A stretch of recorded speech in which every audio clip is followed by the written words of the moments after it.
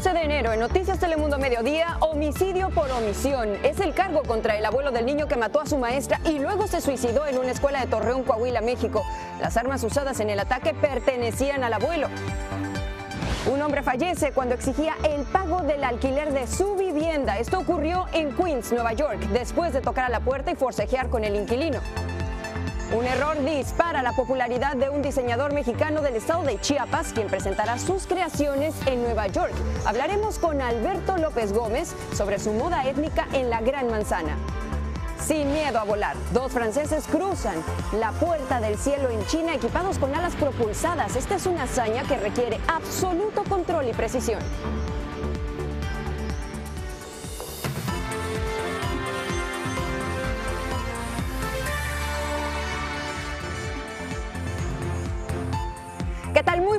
Bienvenidos. Les saluda Paulina Sodi. Si le parece, vamos a arrancar con las noticias de esta tarde de martes. Vamos a iniciar en México, específicamente en Torreón, Coahuila, donde fue detenido y acusado de homicidio por omisión el abuelo del niño que mató a su maestra, hirió a varias personas y posteriormente se suicidó. Los detalles tú los tienes, Raúl Torres. Adelante.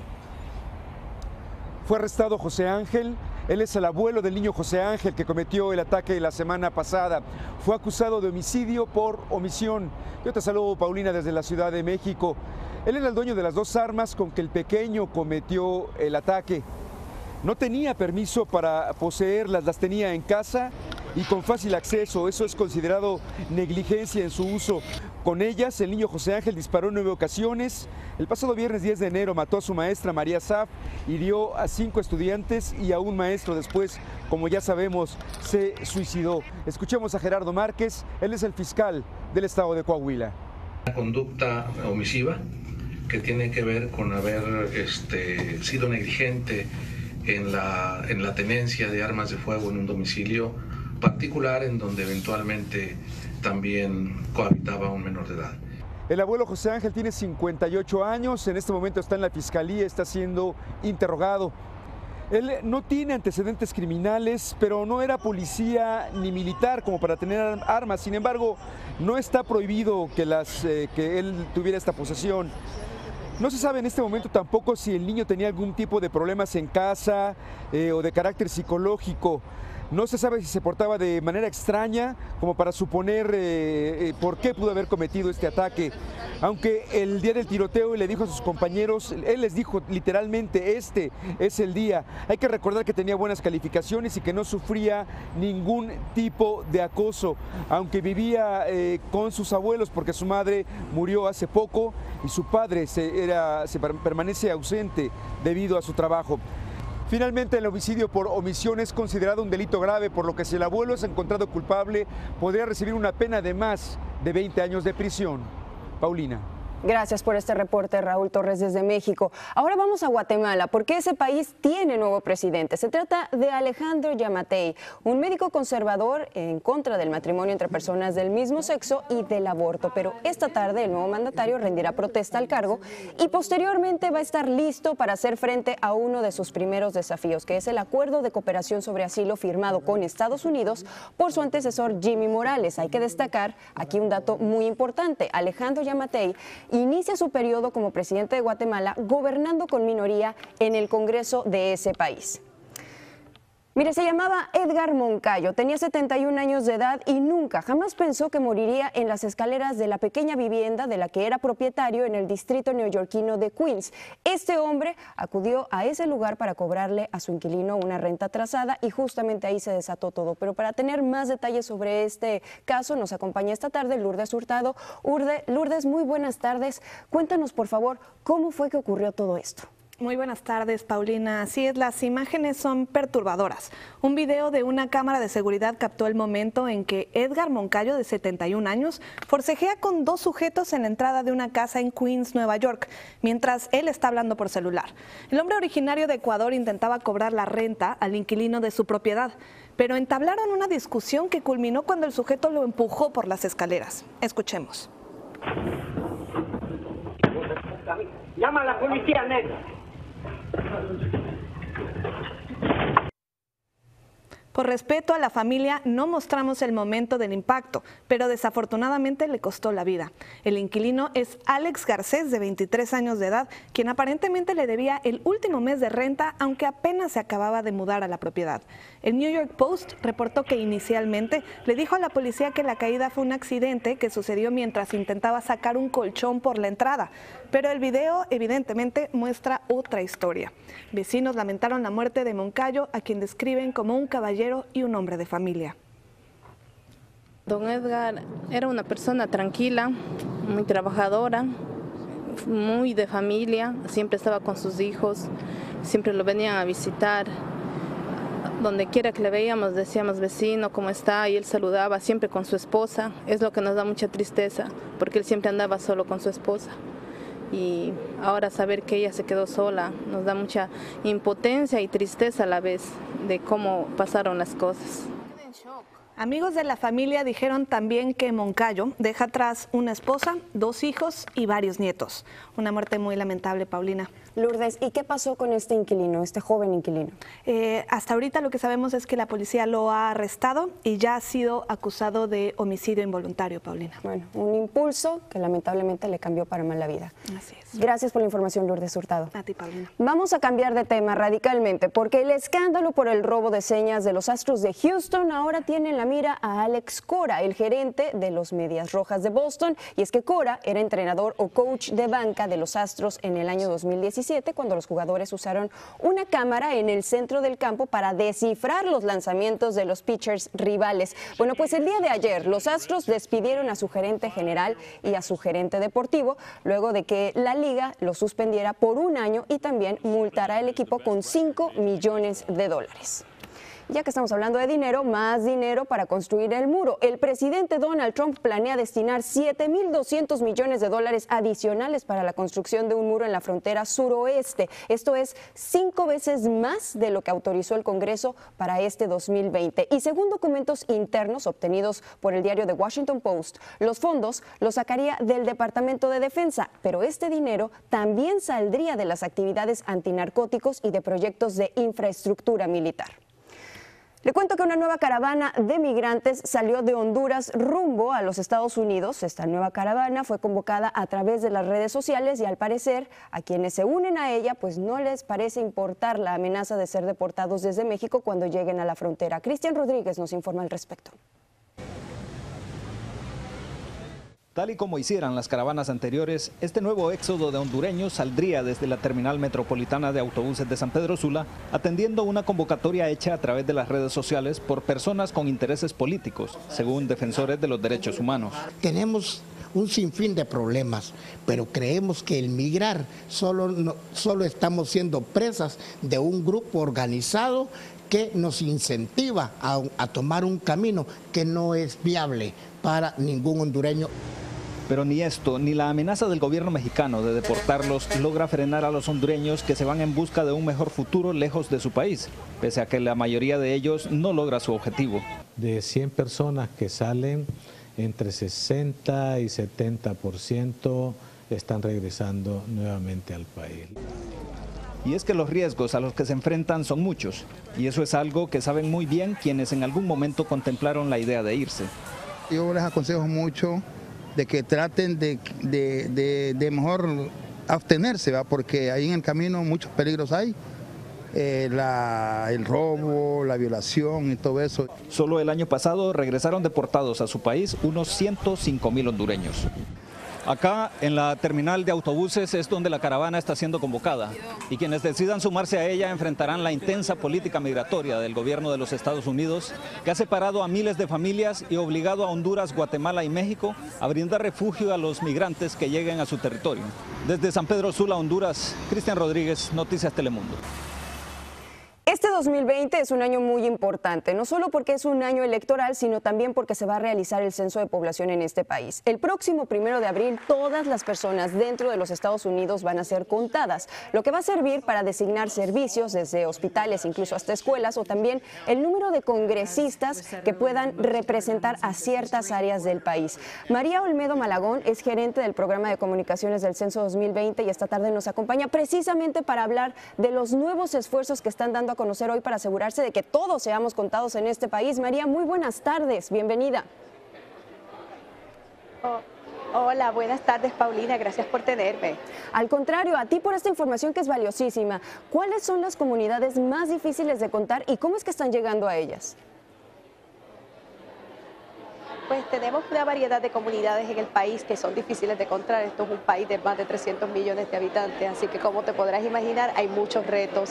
Están las personas que eh, no hablan bien inglés o no hablan inglés, están las personas que viven en áreas rurales o áreas muy urbanas, particularmente en edificios donde viven muchas familias, están los hogares donde viven varias familias bajo el mismo techo y también hogares que tienen niños de menos de 5 años. En todos estos grupos tenemos eh, a los hispanos. Los hispanos eh, pueden ser inmigrantes que a lo mejor no tienen el conocimiento del idioma inglés eh, o piensan que no deben ser contados o nunca han experimentado un censo antes. Puede que vivan varias familias bajo un mismo techo y no, y no sepan cuál de las, todas las familias debe ser contada, que es todas, o simplemente piensan que a lo mejor no es importante contar a su niño pequeño, lo cual es muy importante para los servicios para esos niños. María, mencionas a los migrantes. ¿Qué le podemos decir a aquellas personas que en este clima antimigratorio pues tienen miedo de hacerse contar o incluso de informar sobre su situación en este país? Lo que yo digo todos los días cuando me reúno con estos grupos o con quienes los representan es que no deben de tener miedo. Eh, la oficina del censo por todos los años, más de 200 años que ha existido, siempre ha estado regida por algo llamado el título 13 de la ley federal, que garantiza que nosotros tenemos que mantener la privacidad y confidencialidad de los datos de todo el mundo en la población. Eso incluye a los inmigrantes. Cada empleado del censo, desde los enumeradores hasta el director del censo, está expuesto a cinco años de cárcel y 250 mil dólares de multa si da los datos de una persona, así que no deben de tener miedo. Al contrario, los datos del censo se usan para las escuelas, para las clínicas de salud, para servicios envejecientes, para transportación desde carreteras hasta transportación públicas e incluso para los servicios que, de responder a emergencias. Así que yo siempre digo, el miedo no debe ser a llenar el censo, el miedo debe ser a que su comunidad no tenga los recursos necesarios para atender las necesidades particularmente de sus niños o de los ancianitos que están en su hogar. María, no solamente nos van a contar, también ustedes están ofreciendo trabajos. ¿En qué consisten estos trabajos y quiénes pueden participar? Sí, estamos eh, tenemos, estamos eh, eh, aceptando solicitudes. Necesitamos que al menos más de dos millones de personas soliciten a los trabajos con el censo del 2020. Es bien importante porque nos gusta contratar gente de la comunidad para que las personas se sientan en confianza cuando están llenando el censo, cuando hay alguien en el, el vecindario conduciendo el trabajo que nosotros tenemos. Es muy importante que sea uno de los vecinos, alguien que conozca y que la persona sea bilingüe. Nos gusta que la persona hable el idioma de esa comunidad. Así que exhortamos a todos los latinos que nos están escuchando a que por favor vayan a 2020census.gov, 2020, 2020census.gov, diagonal jobs, J-O-B-S. Ahí está la invitación, María Olmedo Malagón. Muchísimas gracias por esta información. Vamos a hacer una muy breve pausa, pero al regresar en Noticias Telemundo Mediodía ya son 70, señores. 70 las muertes por gripe en California desde septiembre pasado y es algo que está preocupando y mucho a las autoridades. Además, la tierra se abre en China, acabando con la vida de varias personas. Las imágenes al regresar, no le cambien.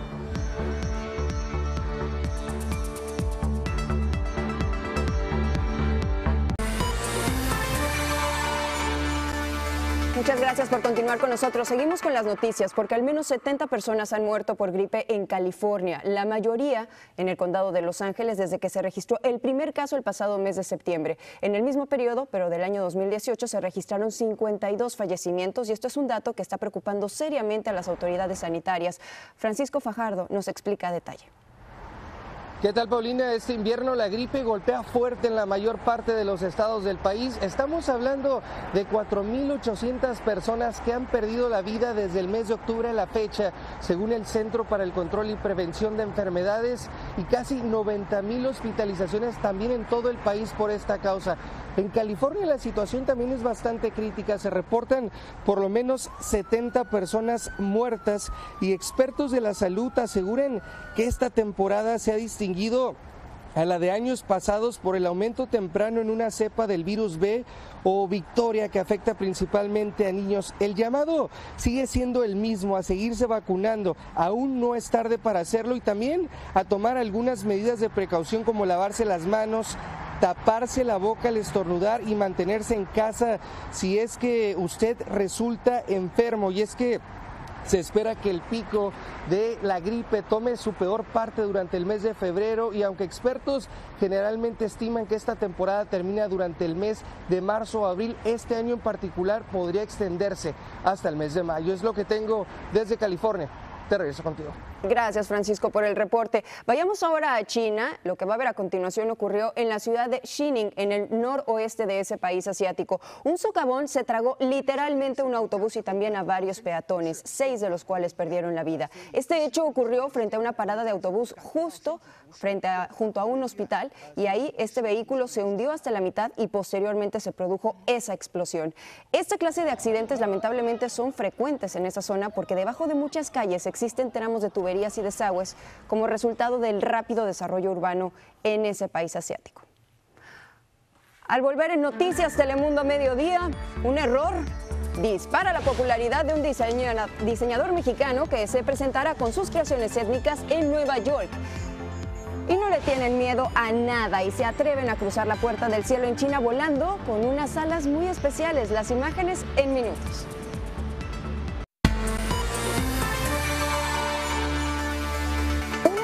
Lanzó a la fama al diseñador mexicano Alberto López, originario de Chiapas, quien exhibirá sus prendas en la ciudad de Nueva York, pero no donde en principio se creía.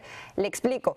Inicialmente los medios de comunicación creyeron que los gabanes y huipiles elaborados por Alberto estarían en la famosa Semana de la Moda de Nueva York, pero en realidad sus creaciones serán exhibidas en un evento dedicado a enaltecer los trabajos de las comunidades indígenas de América. Este evento es el American Indian Fashion Through the Feathers, el cual se va a realizar el próximo 2 de febrero. Pero vamos a darle la bienvenida a este espacio al diseñador mexicano Alberto López Gómez. Alberto, muy buenas tardes, bienvenido. Hola, ¿qué tal? Buenas tardes, muchas gracias. Un placer tenerte con nosotros, Alberto. Tus prendas son una belleza, pero hay que agradecerle a ese error porque ganaron popularidad a partir de esa confusión, ¿cierto? Sí, sí, claro, este, porque también está relacionado también con Fashion Week, entonces es el trabajo que hacen. Entonces eh, yo, este, yo estaba confundido también, entonces porque yo lo entendía que es en Fashion Week, pero se llama Fashion Through the Feathers. Entonces está relacionado también en Fashion Week. De una u otra manera están relacionados, entonces esa es una excelente noticia, pero tú perteneces al pueblo Tzotzil que habita en el centro norte del estado de Chiapas, para quienes desconocen esa región, los tejidos y los colores en esa zona son muy característicos. Cuéntanos, ¿te sirvieron de inspiración al momento de diseñar tus prendas? Claro que sí, mira, la verdad sí, estoy muy agradecido con, eh, que, con, con los trabajos que nosotros estamos haciendo, porque la verdad tiene una inspiración muy importante. Tenemos una cultura como pueblos indígenas aquí en Zona Altos de Chiapas. Explícanos un poquito en qué consisten tus creaciones para quienes aún no las conozcan, Alberto.